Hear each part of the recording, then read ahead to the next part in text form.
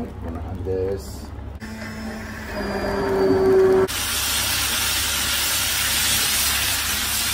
はい皆さんこんにちは。Good afternoon サラレイコン。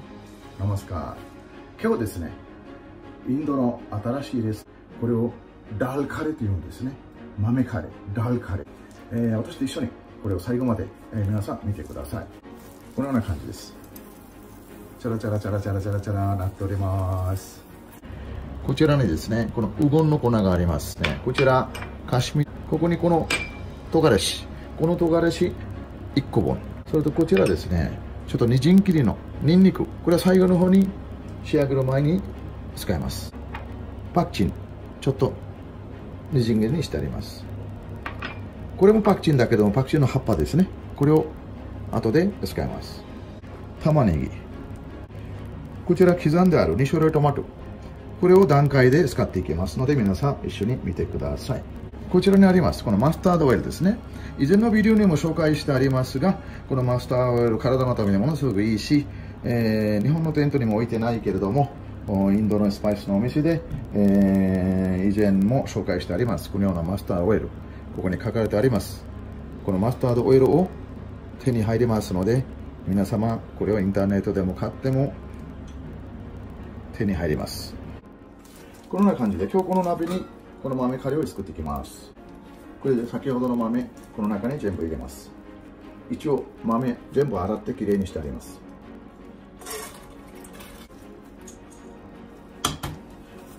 この中にですねちょっとお湯入れていきます、まあ、この豆が茹でていかなきゃいけないのでその状況に基づいて水を足す時もあれば足さないでそのような状況で出来上がる時もあるのでまあその時の段階でこれを仕上げていきます。はい火つけました。それでですねこの中にですねこの段階でこちらうどんの粉。これを全部入れます。赤いレッチリパウダー。これも入れますこの唐辛子は入れませんのでこちらにあります。この唐辛子を入れます。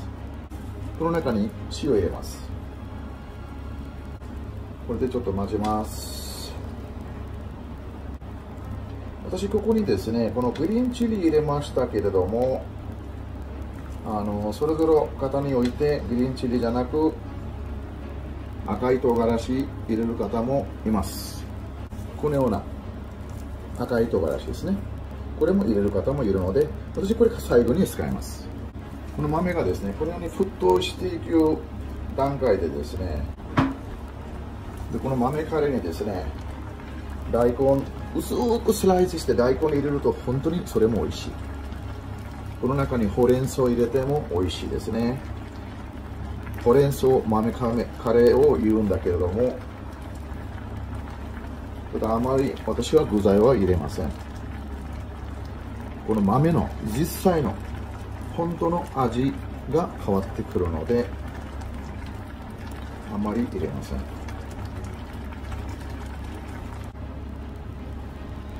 この段階にですねここに2種類トマトを刻んでありましたのでこれの一部分を使います。こ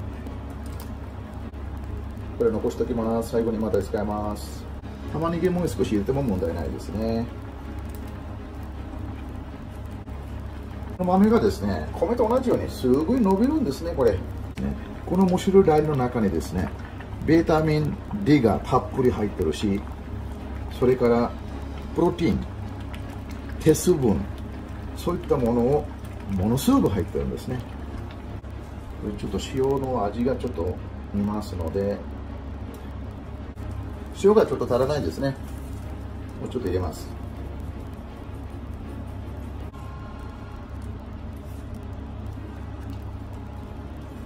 これ2段階が工程があるのでこれはあくまでも第1回目の段階ですね。これが出来上がった後に第2回段階に行きますので皆さんも一緒にゆっくりと見てください。とこの段階でそうですね。うん。だいぶね柔らかくなりましたこれ、はい、この段階ですね一回ちょっと火消します。でここに一点乗せます。熱いのでハンドぐらいだこれでですねこれちょっと細かく砕いていきます。豆の形残しながらやっていきます。はいこれでやります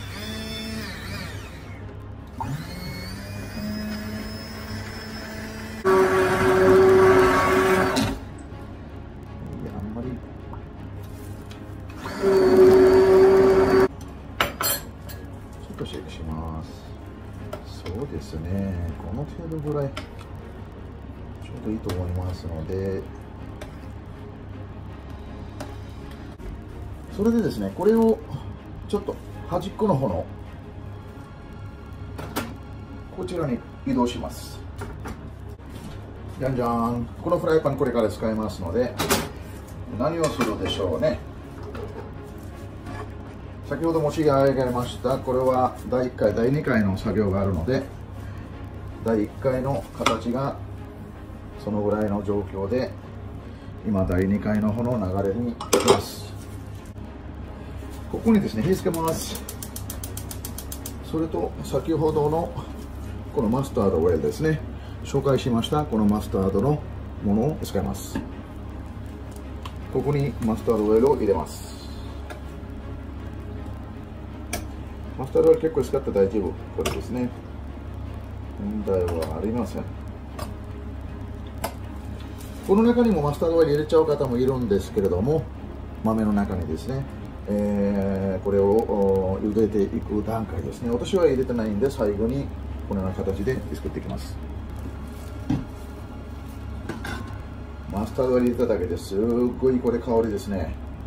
わうわうわうわうわうマスタードオイルはねいっぱいあっても全然問題ないですね。オリーブオイルと変わらないような感じですね。これは温まった段階で先ほどみじん切りのニンニク入れます。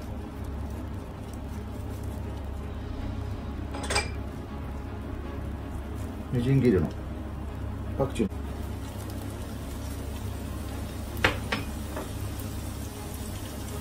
玉ねぎ。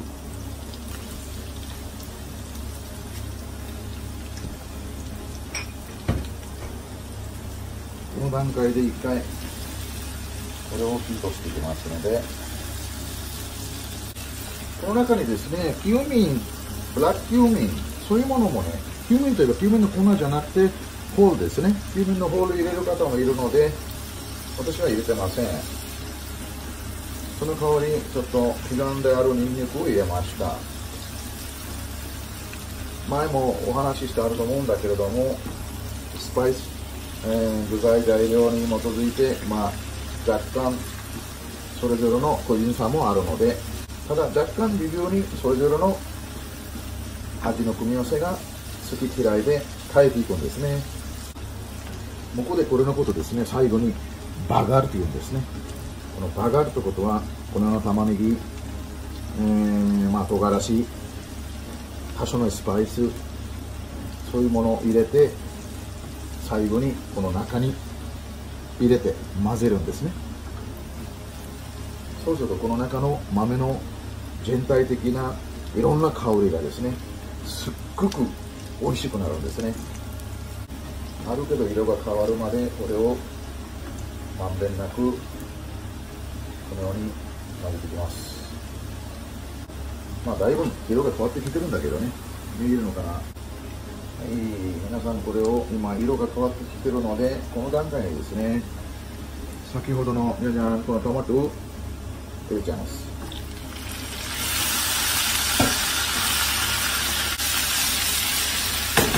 ではよくしますこれね。玉ねぎの色が全然変わってしまったんですね。あのものと一緒に。はいこれをですねこの段階で火が消しましてもうちょっとカメラかけますのでこれをですねこのままこの中に入れちゃいます。全部。でこれを一緒に混ぜます。この段階でですねこれ1回ヒートしますので、まあ、これは最終段階のもう仕上がりの段階になっておりますので皆さん見てください。このような感じの豆カレーなっております。この豆カレーですね。食べ方まあ白いご飯。それからまあほとんどこれなんとルティワロタチャパティ。それの名前のものがあるのでそういうもので召し上がることが多いですね。日本でお店で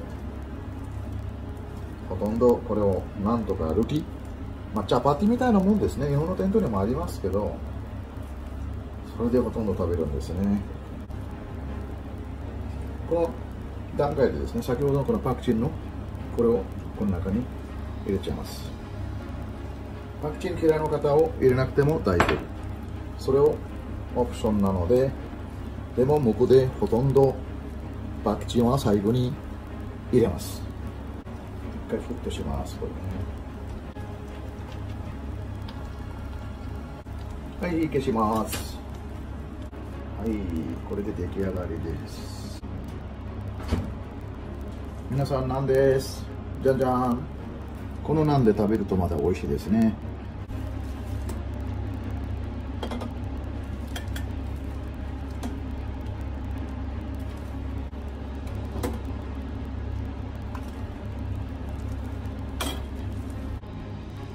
豆カレーです。これが豆カレー。先ほどの赤い唐辛子が入れました。でこのナンで食べると本当に美味しいです。なんと豆カレーです。この豆カレーまた先に一番初めに見せました。こんなに赤い。豆からこんなに赤い豆からこのようなダルカレーの出来上がりです。このような感じです。